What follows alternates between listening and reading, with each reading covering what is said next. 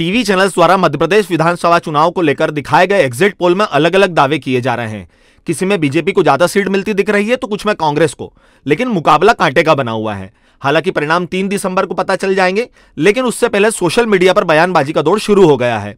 एक तरफ़ बीजेपी प्रत्याशी अपनी सरकार बनने को लेकर दावे कर रहे हैं तो कांग्रेस प्रत्याशी भी पूर्ण बहुमत के साथ काबिज होने को लेकर ताल ठोक रहे हैं। इधर खातेगांव से कांग्रेस प्रत्याशी दीपक जोशी ने एग्जिट पोल पर चैनल को मैनेज करने की बात कहते हुए एग्जिट पोल की विश्वसनीयता पर प्रश्न चिन्ह खड़ा किया है। साथ ही उन्होंने खुद की जीत सुनिश्चित मानते हुए विधायक बनने की बात कह दी और मध्य प्रदेश में कांग्रेस की सरकार पूर्ण बहुमत से बनने की बात कही। जोशी ने कहा कि देवास ज़िले की तीन सीटों को तो मैंने नज़दीक से देखा है। दो जगह में विधायक रह चुका हूँ और तीसरी जगह में बनने वाला हूँ। जनादेश स्पष्ट रूप से कांग्रेस के पक्ष में है। देखिए, जनादेश तो जनता जानती है कि किसके पक्ष में है। जनादेश स्पष्ट रूप से कांग्रेस के पक्ष में है। लेकिन एग्जिट पोल, चूँकि हमारे यहाँ दूरसंचार क्रांति के बाद टेलीविज़न का भी अपना एक युग आया और पूरे लोकतांत्रिक व्यवस्था में जहाँ भी लोकतांत्रिक व्यवस्था में एग्जिट पोल होते हैं। लेकिन इस बार मुझे लगता है कि कहीं ना कहीं एग्जिट पोल के माध्यम से भी चुनाव को मैनेज करने का प्रयास किया गया है। मैं स्पष्ट कह सकता हूँ कि एग्जिट पोल में इतना बड़ा आंकड़े का परिवर्तन देखने में आया कि एक टीवी बता रहा, ये दूसरा टीवी एकदम इतना ऊपर बता रहा। और उसका हाईलाइटेशन कहीं ना कहीं अभी देखने में भी आया कि उनकी बातों में कहीं ना कहीं विसंगतियाँ पाई गई। अब वो तो उनका मामला मैं नहीं जानता उनका आपसी मामला कुछ घंटे शेष है। किस तरह से आप अपने आप को मान रहे हैं?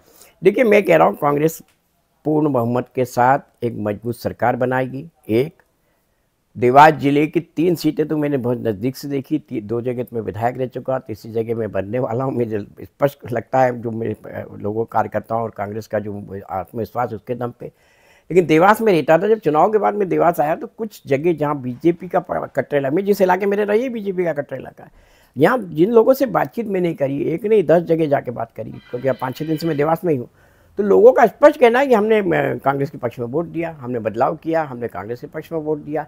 अगर इतना बड़ा चेंज है तो देवास ज़िले की पाँचों सीटें कांग्रेस के पक्ष में आ रही है। और जब देवास जिला कांग्रेस के पक्ष में आ रहा है तो मैं कह सकता हूँ बहुत बड़ा चेंज है और मध्य प्रदेश में अच्छे बहुमत के साथ कमलनाथ जी के मेरा मेरा ही मानना कि कांग्रेस ने कांग्रेस के विरुद्ध में जो आखिरी में बीजेपी ने अपने धल बल और बाहुबल और जो भी चीज़ उपयोग हो सकती थी उस सबका तंत्रों का उपयोग करने के बाद भी कांग्रेस की जो स्थिति लग रही कांग्रेस 135 प्लस होगी।